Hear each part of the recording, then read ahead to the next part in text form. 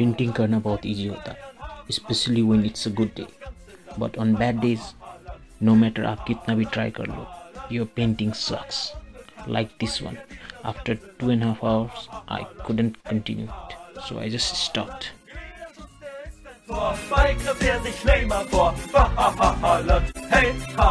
stopped.